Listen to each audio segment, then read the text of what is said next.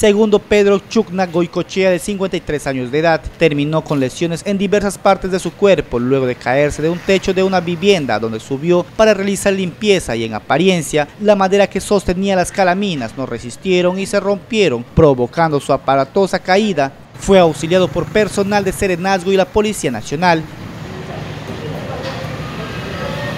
El caso se registró en la cuadra 3 de la avenida Peruanidad de Tarapoto. Uno de sus amigos evitó dar declaraciones con respecto a esta situación. Ya estaba, estaba construyendo, ¿o qué estaba haciendo? Estaba subiendo Limpiando hasta el techo. ¿Ya? Estaba limpiando el techo. Entonces cuéntanos, más o menos el trabajo que hacían ahí exactamente. Eh, es, estaba limpiando el techo pues, porque creo que ha caído, ha caído, este, ha caído basura.